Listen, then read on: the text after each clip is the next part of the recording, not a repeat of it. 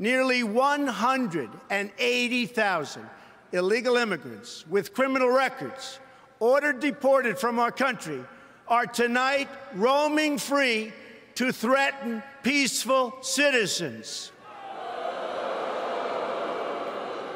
The number of new illegal immigrant families who have crossed the border so far this year already exceeds the entire total from 2015.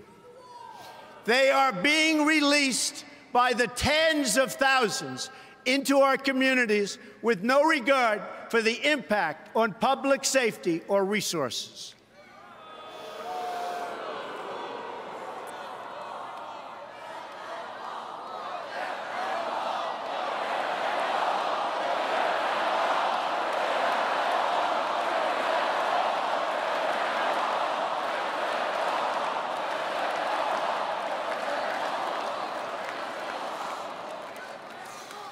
One such border crosser was released and made his way to Nebraska.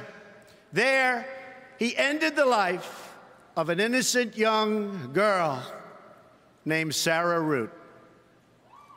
She was 21 years old and was killed the day after graduating from college with a 4.0 grade point average, number one in her class.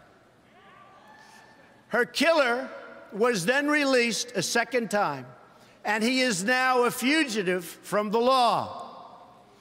I've met Sarah's beautiful family, but to this administration, their amazing daughter was just one more American life that wasn't worth protecting.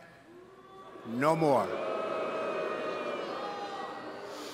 One more child to sacrifice on the order and on the altar of open borders.